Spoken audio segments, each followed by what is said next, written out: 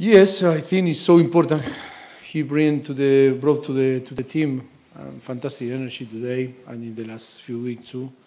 Still, it's normal. Needs time to give uh, uh, his best, but I think it's um, it's so important for the team to have to have him again fit, and I think he's going to help a lot to, to us.